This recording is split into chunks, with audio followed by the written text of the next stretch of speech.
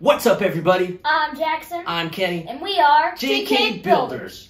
If you're new to the channel, why not subscribe to see all future LEGO content? If you wouldn't mind hitting the like button, helps out the channel a lot. It's very much appreciated. Also, if you could hit the bell notification, it'll let you know anytime we post a brand new video. Today's a very special day. We're doing a review of a set that I have been wanting to do a review on for a very long time. I waited a long time to get it. Um, finally, I took the plunge and I bought it. It is the fourth biggest set in the world, the first biggest LEGO Star Wars set in the world. It is the UCS Millennium Falcon. Jax, why don't you break down this box for us? Well, it's 16 plus. The item number is 75192. And um, it doesn't say the piece count. Do you know why it doesn't say the piece count? Why? I ordered this from Europe, Yeah, probably. so it doesn't have the piece count. This has 7,512 pieces, I believe. 7,500 pieces. Humongous set.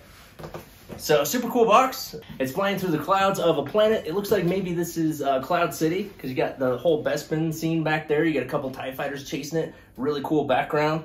Obviously, it's a humongous box. On the side of it, you have the dimensions. It is about 60 centimeters wide by about 83 centimeters long. It's only in centimeters because it is European, um, so I don't have it in inches, but it's about 22 centimeters tall. Um, it comes with all these different minifigures. Jackson, you want to tell us about those? So it comes with BB-8, Han Solo, uh, Chewbacca, Finn, Rey, C-3PO, um, another Han Solo, Princess Leia, and two porgs. Cool. So on the back of the box, it gives you another view of the Millennium Falcon. It breaks down a whole bunch of different scenes from the ship. It shows you that you can swap out the satellite dishes for either the uh, original series or the sequels, uh, episode 7. Um, and uh, shows you some of the places that open up, the play features on the inside of the ship. And that's about it, but pretty cool. This side has uh, nothing because I've closed it up. Um, if you actually look at it, it is just another image of the ship. It says Ultimate Collector Series. It is a UCS set. Um, we actually, when we did our unboxing of this a few weeks ago, we opened up the wrong side. Yeah. So we're going to give you the experience of opening up the proper side, which is this one. We opened the side, it actually has little stickers that say no razor blade, um, which I questioned that when we did it, and I didn't think to look at the other side. So this one has a razor blade with a green circle around it, meaning that this is the side you open. When you open it for real, For real. You see this little uh, drawing of the Millennium Falcon, which is kind of cool. It says Ultimate Collector Series, Star Wars Lego. And you open this one up, you get another picture of the Millennium Falcon shooting up into space. And then when you open it, you actually see the instruction book. So mine actually came a little bit beat up, which I was kind of bummed about, but the instruction book is right here. Um, so you pull that out, we'll look at that in a second. Uh, but it does have this little thing that the instruction book goes in to uh, protect it, which is nice. Um, and then you have the boxes, which actually make another drawing of the Millennium Falcon lined up, um, which is kind of cool. So you pull those out, and one by one, you build the set. So that is pretty much the experience of the actual unboxing. Let's check out the instruction book. Here's the instruction book. So one thing about this uh, instruction book is it's humongous. First, I want to kind of Yeah, look at the size. Like this is big. It's on a binder, uh, like a ring binder, which is always a sign that is you're dealing with a humongous set. Um, again, you get a picture of the Millennium Falcon here on the cover. It is a different picture because you have Death Star 2 back here in the background, a couple of TIE fighters in the distance. Uh, mine did come a little beat up, like I said. There was a little bit of damage when I got it. Um, I did ship it over from Europe, so it's to be expected that it's going to come with a slight bit of damage, but I did get a really good deal on this set, so I can't complain too much. Uh, like Jackson was talking about, on the first page, it does have the info about the design team. Uh, there's lots of little tidbits of information in here. It gives you some info about the Millennium Falcon itself. Uh, it gives you some drawings and renderings of the ship, some of the design drawings, which are pretty cool. Um, obviously, you can uh, look at these further when you build it yourself, or you can pause the image and look at them uh, here as well. Um, gives you some of the facts and specifications of the ship. Um, building behind the scenes, Millennium Falcon, so it talks about the movie and how they kind of created the ship. Uh, turn the page here. You have more about the history of the Millennium Falcon. Some really cool info. I would highly recommend checking this out if you get this set and build it. Uh, we won't go into too much detail. It gives you history of the Lego Millennium Falcon, so you can see where we started. This one does not funny. look good. Um, in 2003, you got that one there. Then you had the original UCS Millennium Falcon um, in 2007. You had the MIDI scale. Um, you had another edition there, another one there, another one there. Uh, we did also have the two back there. So we have the solo one as well as the episode uh, nine Millennium Falcon, I believe is what that one is. Uh, we can take a look at those in a second, kind of compare. Uh, but yeah, just more about the uh, model designer and the process of designing this set. The graphic designer. Um, obviously, it came with uh, stickers and the different characters, the minifigs. More cool artwork. Uh, again, really cool artwork here. You can see the Millennium Falcon there blowing up the uh, reactor core of the Death Star. Uh, more drawings from the design. And then you begin your build. This is a humongous set. Uh, there are quite a lot of steps. There are I'm not exactly sure how many hours it took me, but I did build it over the course of, what, about a week and a half? Yeah. Probably. So it did take me quite a while. I only built like a few bags a day or a few bags a night. Um, I don't think there's anything in the back, but it is about 462 pages long. So in the back of the book, it does give you some more images of the set, how you can swap out the satellite dishes from episode four to episode seven. Um, it shows you the cockpit. It also shows you how to carry this set. Now, one thing that we will discuss in just a minute is it is kind of flimsy. It's it's a little bit fragile. Yeah. Um, with the size of it and how heavy it is, this thing um, in the box, I don't know how much the set weighs, but the box and everything uh, with the set weighed about 33 pounds. Um, so it is very bulky and heavy. Uh, so you do need to be really careful when you are moving this set. And on the back of the book, it just gives you this other image of the Millennium Falcon, which is kind of like a logo. And that looks pretty cool. Again, a little bit of damage is sustained in the uh, delivery process, but uh, not too big of a deal, I guess. Let's check out the set.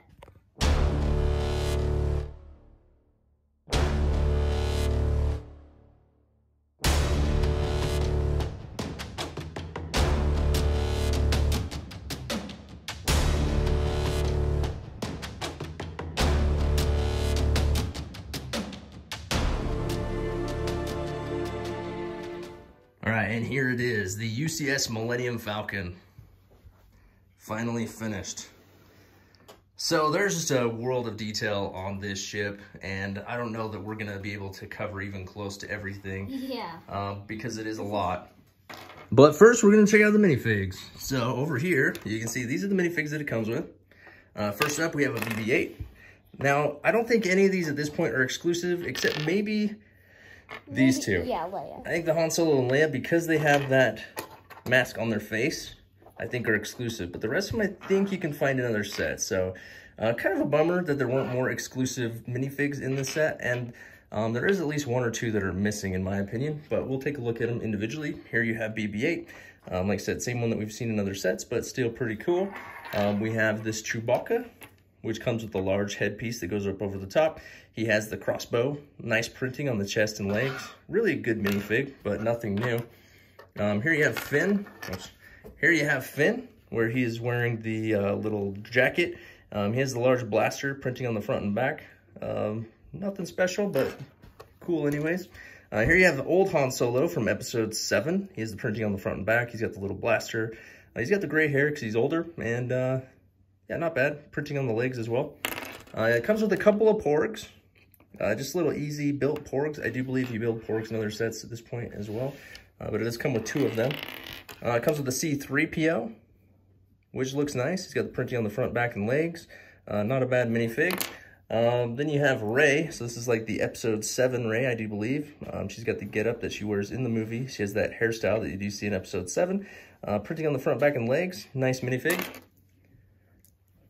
Uh, then you got young Han Solo. He does have the double-sided face. So he's got the face without the mask and then the face with the mask. You wear the mask when they disembark the ship, um, when they're inside of the large uh, space worm. So they're wearing the mask in that section of the movie. Uh, but yeah, he's a good minifigure. I do think that's exclusive with that face. Um, correct me if I'm wrong, but I do believe it is. Then you have the Hoth-style Leia, where she's wearing the mask as well.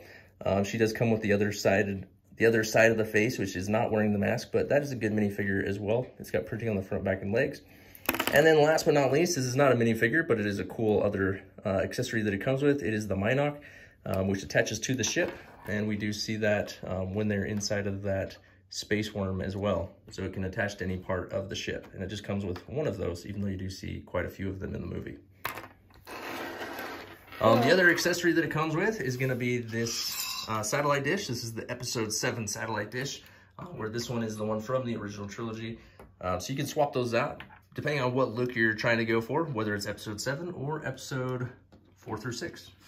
All right, checking out the set. Like I say, there's just a ton of detail. I don't think we're to cover it all in this video, uh, but you know, you got to kind of own this and see it in person for yourself to really appreciate everything that goes into it. There's just greebling and detail all over this thing. Um, just give you a good overview. There's all these different air vents on top. Um, there's the turret gun right here. There's a similar one on the bottom. It does have a large cockpit, which is actually quite a bit bigger and more spacious than the ones that we see on previous renditions of the Millennium Falcon. Um, this does just pull off like that. Inside the cockpit, you can fit several minifigures. So there are a couple of different rows um, where you can place the minifigures, which is nice. Uh, lots of control panels in there. Um, a few little details. It could be more detailed than this um, with a yeah. set this large, but it is larger than we've seen before, and it is it does look nice at the end of the day. Um, it does include the hallway that goes from the cockpit into the middle of the ship. That is not accessible on the inside, unfortunately.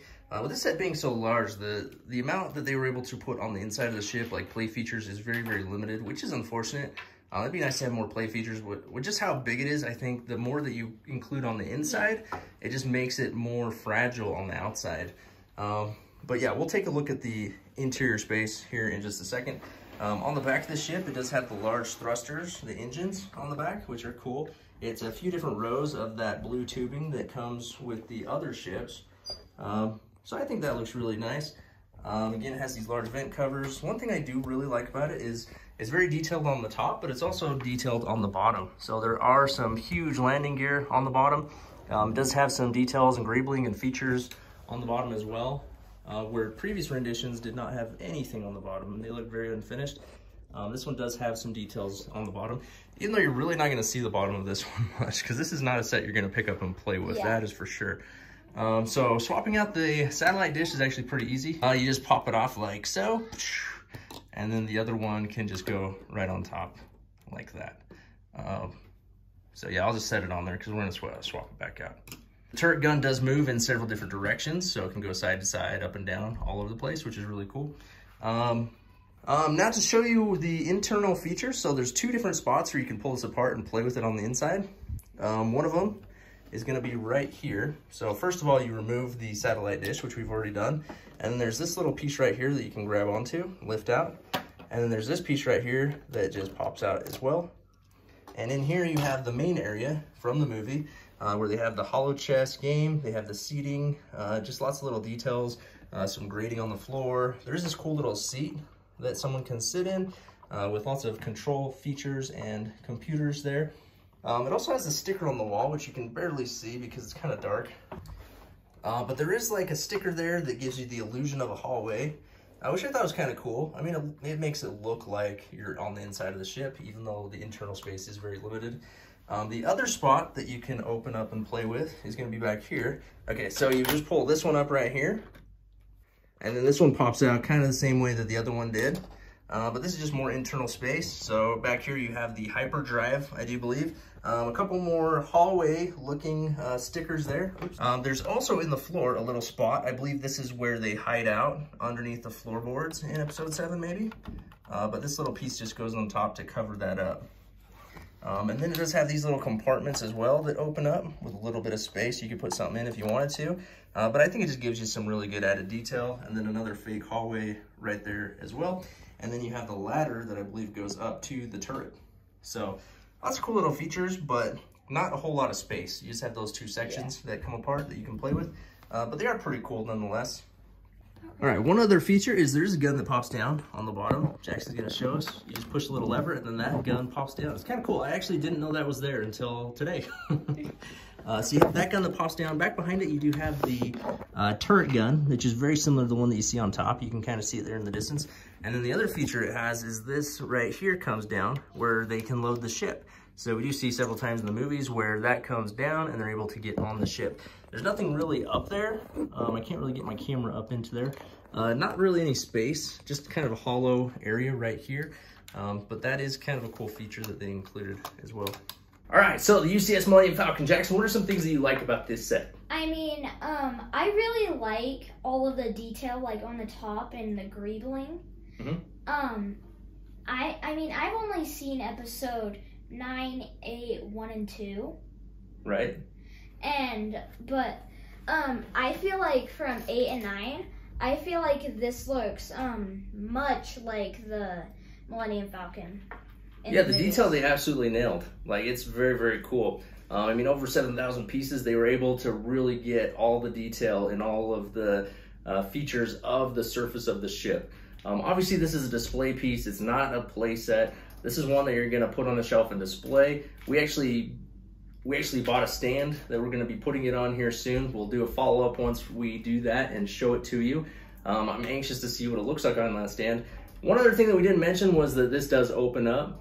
Um, and there is a seat in there with like a little uh, controller so you can control the turret. So I want to make sure we mention that, but we didn't get a close-up view of it.